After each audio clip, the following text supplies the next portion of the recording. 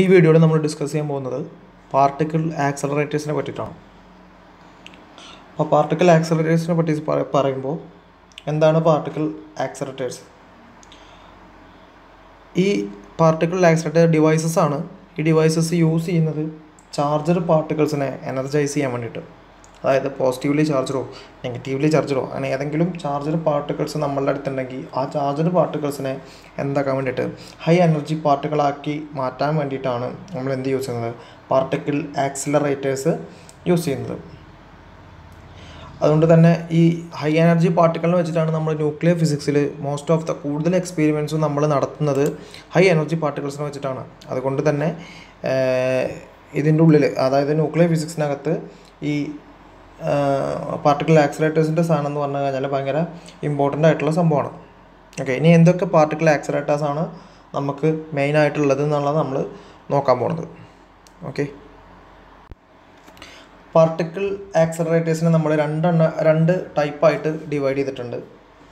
രണ്ട് ടൈപ്പ് എന്ന് പറഞ്ഞു കഴിഞ്ഞാൽ പാർട്ടിക്കിൾ ആക്സലറേറ്റേഴ്സ് എന്ന് പറഞ്ഞു കഴിഞ്ഞാൽ broadly classified into two classes they are electrostatic accelerators and cyclic accelerators രണ്ട് ടൈപ്പാണ് ഒന്ന് ഇലക്ട്രോസ്റ്റാറ്റിക് ആക്സലറേറ്റേഴ്സ് രണ്ടാമത്തെ സൈക്ലി cyclic accelerators in electrostatic accelerators the charged particles can accelerated by applying a constant voltage difference between the ion source and the target electrostatic ആക്സലേറ്റേഴ്സിനെ രണ്ട് type രണ്ട് ടൈപ്പിലാണ് നമ്മൾ ഈ പാർട്ടിക്കിൾസിനെ നമ്മൾ accelerate ചെയ്യുന്നത്. ഒന്ന് ഇലക്ട്രോസ്റ്റാറ്റിക്കലി നമ്മൾ ആക്സലേറ്റ് ചെയ്യും. രണ്ടാമത് സൈക്ലിക് ആയിട്ട് ആക്സലേറ്റ് ചെയ്യും. ഇലക്ട്രോസ്റ്റാറ്റിക് ആക്സലേറ്റേഴ്സിൽ സംഭവിക്കുന്നത് എന്താണ്? ചാർജർ പാർട്ടിക്കിൾ ആക്സലേറ്റ് ചെയ്യണത് എങ്ങനെയാണ്? By applying a constant voltage difference between ion source and the target ടാർഗറ്റിന്റെയും ion സോഴ്സിന്റെയും ഇടയിൽ നമ്മളൊരു കോൺസ്റ്റ് കോൺസ്റ്റന്റ് ആയിട്ടുള്ള ഒരു വോൾട്ടേജ് ഡിഫറൻസ് കൊടുത്തുകൊണ്ടാണ് നമ്മൾ എന്ത് എന്ത് ചെയ്യിക്കുന്നത് ഇലക്ട്രോസ്റ്റാറ്റിക് ആക്സലേറ്റേഴ്സിൽ നമ്മൾ ആക്സിലേറ്റ് പാർട്ടിക്കിളിനെ ആക്സിലേറ്റ് ചെയ്യിപ്പിക്കുന്നത്. അപ്പോൾ അപ്ലൈ കോൺസ്റ്റന്റ് വോൾട്ടേജ് ഡിഫറൻസ് ഒരു കോൺസ്റ്റന്റ്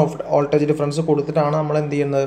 നമ്മുടെ അയോൺ സോഴ്സ് ഉണ്ടാവും. സോഴ്സിനെയും പിന്നെ ഒരു ടാർഗറ്റിനെയും ഇതിന്റെ ഇടയിൽ ഒരു എന്താണ് കോൺസ്റ്റന്റ് വോൾട്ടേജ് കൊടുത്തിട്ടാണ് നമ്മൾ എന്ത് ചെയ്യുന്നത്? ഇലക്ട്രോസ്റ്റാറ്റിക് ആക്സിലേറ്റേഴ്സിൽ ചാർജർ പാർട്ടിക്കിൾസിനെ നമ്മൾ എന്ത് ചെയ്യുന്നത്?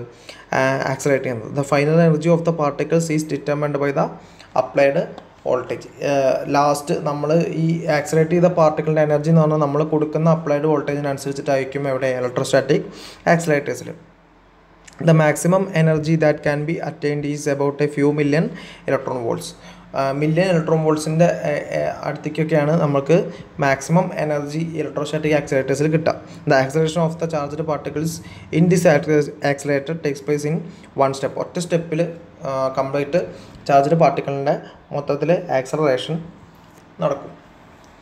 അതിനൊരു എക്സാമ്പിളായിട്ട് നമ്മൾ പറയുന്നതാണ് ലീനിയർ ആക്സലേറ്റർ ലിനാക്ക് എന്ന് പറയും. ലീനിയർ ആക്സിലറേറ്ററാണ് നമ്മുടെ ആദ്യത്തെ നമ്മൾ ആക്സലറേറ്ററിനെ ഡിസ്കസ് ചെയ്യാൻ പോകുന്നത്. ലിനാക്ക് എന്നു പറയുമ്പോൾ ചാർജഡ് പാർട്ടിക്കിൾ ചാർജഡ് പാർട്ടിക്കിളിന് നമ്മൾ സ്ട്രെയിറ്റ് ലൈനിൽ നമ്മൾ എന്ത് ചെയ്യാണ് ആക്സലേറ്റ് ചെയ്യാണ്. ഒരു സ്ട്രെയിറ്റ് ലൈനിൽ ചാർജ്ഡ് പാർട്ടിക്കിളിനെ ആക്സലേറ്റ് ചെയ്യാണ്. മൾട്ടിപ്പിൾ സ്റ്റെപ്സ് ആണ് ഇവിടെ യൂസ് ചെയ്യുന്നത്. ഓസിലേറ്റിംഗ് ഇലക്ട്രിക് ഫീൽഡ് വെച്ചിട്ടാണ് നമ്മൾ എന്ത് ചെയ്യുന്നത് ഈ പാർട്ടിക്കിളിനെ ആക്സലേറ്റ് ചെയ്യുന്നത്.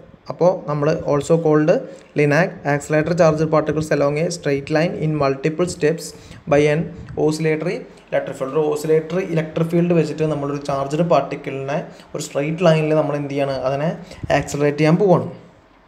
അപ്പോൾ നമ്മൾ ചെയ്യുന്നത് here we discuss a simple form of linear accelerator linear ആക്സിലേറ്ററിന്റെ ഏറ്റവും സിമ്പിളായിട്ടുള്ള ഒരു ഫോമാണ് നമ്മളിവിടെ പറയാൻ പോകുന്നത്. ഇനി നമുക്കതിന്റെ എന്തൊക്കെയാണ് അതിന്റെ ഏറ്റവും ഫസ്റ്റ് അതിന്റെ കൺസ്ട്രക്ഷൻ ഏതൊക്കെ എന്തൊക്കെയാണ് നോക്കാം.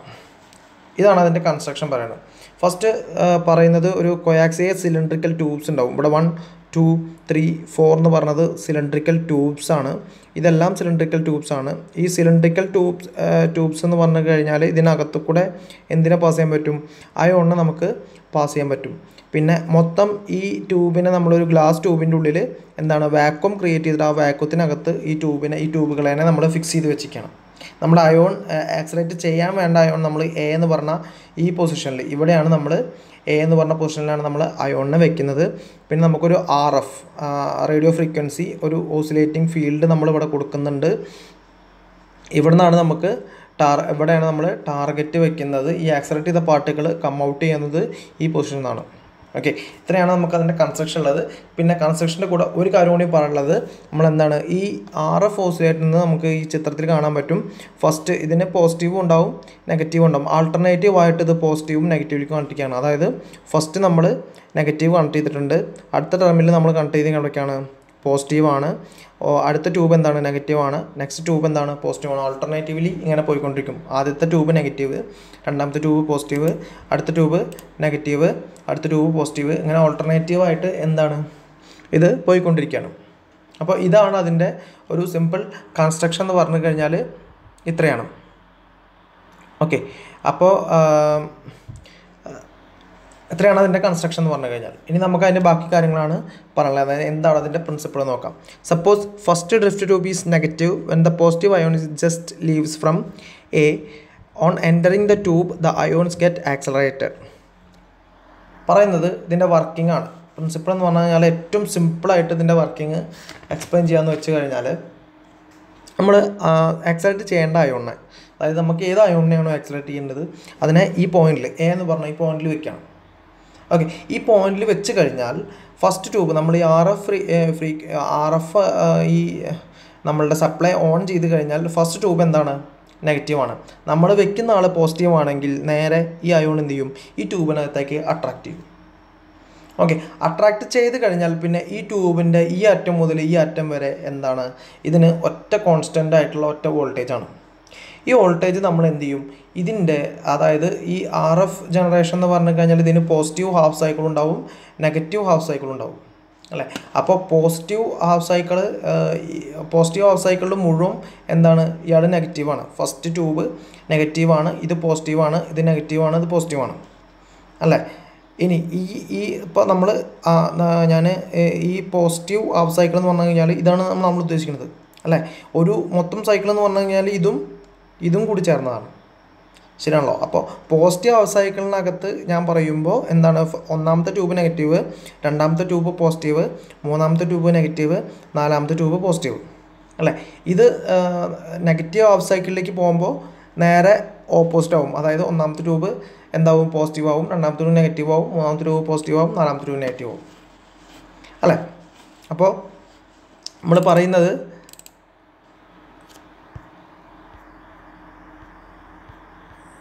one minute.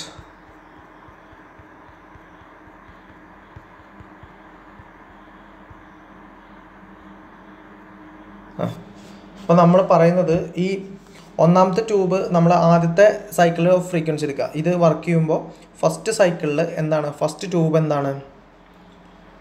നെഗറ്റീവാണ് ആ നെഗറ്റീവ് ആകുമ്പോൾ ഇയാളെ ഈ അയോൺ എന്ത് ചെയ്യും? നേരെ ഈ ട്യൂബിനകത്തേക്ക് അട്രാക്ട് ചെയ്ത് ട്യൂബിനകത്ത് കൂടെ എന്ത് ചെയ്യും? ഇത് ആക്സലറേറ്റ് ചെയ്യും. ഓക്കെ ആക്സലേറ്റ് ചെയ്ത് ഇത് ഇവിടെ എത്തുമ്പോൾ ഈ അറ്റത്ത് എത്തണ വരെയാണ് ഒരു പോസിറ്റീവ് ഹാഫ് സൈക്കിൾ എന്ന് പറയുന്നത് അതിന് വേണ്ടിയിട്ടുള്ള ആ ടൈമാണ് അവിടെ സെറ്റ് ചെയ്ത് നമ്മൾ ആദ്യം മുതൽ സെറ്റ് ചെയ്ത് വെക്കുന്നത്. ഇത് ഇവിടെ എത്തിക്കഴിഞ്ഞാൽ പിന്നെ എന്തായി? സൈക്കിൾ അടുത്ത നെഗറ്റീവ് ഹാഫ് സൈക്കിളായിട്ട് നെഗറ്റീവ് ഹാഫ് സൈക്കിളായിട്ട് മാറി. നെഗറ്റീവ് ഹാഫ് സൈക്കിൾ എന്ന് പറഞ്ഞു കഴിഞ്ഞാൽ എന്തായി? ഇത് നമ്മുടെ അയോൺ പോസിറ്റീവ് അയോൺ ആണ്. പോസിറ്റീവ് അയോൺ ഇവിടുന്ന് ആക്സറേറ്റ് ചെയ്ത് ഇവിടെ എത്തുമ്പോൾ ഇതെന്തായി? രണ്ടാമത്തെ ട്യൂബ് എന്തായി? നെഗറ്റീവായിട്ട് മാറി. നെഗറ്റീവായിട്ട് മാറിക്കഴിഞ്ഞാൽ വീണ്ടും എന്ത് ചെയ്യും? ഈ ട്യൂബിനകത്തേക്ക് നമ്മുടെ അയോൺ പോസിറ്റീവ് ആണ്. ഈ ട്യൂബിനകത്തേക്ക് ഇത് അട്രാക്റ്റ് ചെയ്യും. വീണ്ടും എന്ത് ചെയ്യും? ഇതിനകത്ത് ആക്സറേറ്റ് ചെയ്യും. അങ്ങനെ ആക്സറേറ്റ് ചെയ്ത് കഴിഞ്ഞാൽ ഈ താഴത്തെ നെഗറ്റീവ് അടുത്ത ഹാഫ് സൈക്കിൾ കഴിഞ്ഞു. വീണ്ടും പോസിറ്റീവായി വീണ്ടും പോസിറ്റീവ് ആയി കഴിഞ്ഞാൽ ട്യൂബ് ത്രീ എന്താവും? അതായത് ഇതാദ്യം നെഗറ്റീവായിരുന്നു പോസിറ്റീവായിരുന്നു അപ്പോൾ അത് നെഗറ്റീവായിരുന്നു വീണ്ടും എന്ത് ചെയ്യും? വീണ്ടും തിരിയും. ഇത് ത്രീ എന്ത് വീണ്ടും നെഗറ്റീവ് തന്നെയാവും അപ്പോൾ വീണ്ടും ഇതിനകത്ത് ആക്സറേഷൻ നടക്കും. വീണ്ടും ഇതിങ്ങനെ റിപ്പീറ്റ് ചെയ്തുകൊണ്ടിരുന്ന റിപ്പീറ്റ് ചെയ്യുന്ന ഓരോ ട്യൂബിനകത്ത് കൂടെ പോകും തോറും ഈ ഇലക്ട്രോണിന് ഓരോ ഈ ഈ ഈ ഗ്യാപ്പ് അതായത് ഒരു ഒന്നാമത്തെ ട്യൂബും രണ്ടാമത്തെ ട്യൂബും അതേപോലെ രണ്ടാമത്തെ ട്യൂബും മൂന്നാമത്തെ ട്യൂബും ക്രോസ് ഓരോ ഗ്യാപ്പ് ക്രോസ് ചെയ്യും തോറും എന്താണ്? ഈ ഇലക്ട്രോണിന്റെ എന്ത് കൂടി കൂടി വരും? ഇലക്ട്രോണിന്റെ ഇലക്ട്രോണിന്റെ അല്ല സോറി പോസിറ്റീവ് അയോണിന്റെ നമ്മളുടെ സ്പീഡ് കൂടി കൂടി വരും. പോസിറ്റീവ് അയോണിന്റെ സ്പീഡ് കൂടി കൂടി വരും. അതാണ് അവിടെ ഉദ്ദേശിക്കുന്നത്. ഓരോ ഗ്യാപ്പ് ക്രോസ് ചെയ്യും തോറും ഈ പോസിറ്റീവ് അയോണിന്റെ സ്പീഡ് കൂടി കൂടി വന്ന് ഇവിടെ എത്തുമ്പോഴേക്കും ഈ പോസിറ്റീവ് അയോണിന് മാക്സിമം സ്പീഡാവും അതെങ്ങനെയാണ് നമ്മൾ മാത്തമാറ്റിക്കലി അതിനൊന്ന് നമുക്കൊന്ന് അനലൈസ് ചെയ്ത് നോക്കാം. എന്താണ് അവിടെ സംഭവിക്കുന്നതെന്ന്. നമ്മൾ അപ്ലൈ ചെയ്യുന്ന ഇതിന്റെ പൊട്ടൻഷ്യൽ എന്ന് പറഞ്ഞാൽ വി എന്ന് പറഞ്ഞു കഴിഞ്ഞാൽ ഫസ്റ്റ് ഡ്രിഫ്റ്റ് ട്യൂബിന്റെ പൊട്ടൻഷ്യലാണ് നമ്മൾ വിചാരിക്കുക. അതായത് ആദ്യത്തെ ട്യൂബിന്റെ പൊട്ടൻഷ്യലാണ് ഈ ട്യൂബിന്റെ പൊട്ടൻഷ്യൽ വി ആണ്. നമ്മൾ വെക്കുന്ന അയോണിന്റെ ചാർജ് ക്യൂ ആണെന്ന് കൺസിഡർ ചെയ്യാം. നമ്മൾ അസ്യൂം ചെയ്യാണ്. അങ്ങനെയാണെങ്കിൽ വി വൺ ആണ് ഫസ്റ്റ് ട്യൂബിനുള്ളിൽ കൂടെ ട്രാവൽ ചെയ്യുമ്പോൾ അതിന്റെ വെലോസിറ്റി എങ്കിൽ നമുക്ക് എന്ത് പറയാം? Half M V one square that is equal to എന്ത് പറയാം?